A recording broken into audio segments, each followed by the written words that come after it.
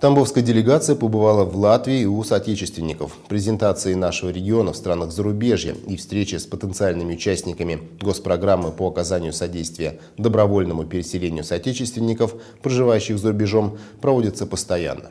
Программа Тамбовской области была выделена межведомственной комиссией по реализации госпрограммы как одна из наиболее проработанных. О планах работы с отечественниками на ближайшие годы шел разговор на сегодняшней планерке губернатора.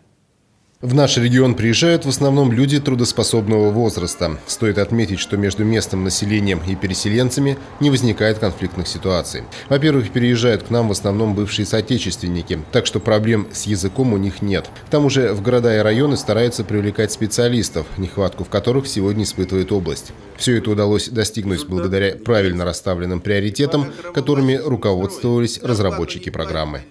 Правильно акценты работе вы расставили.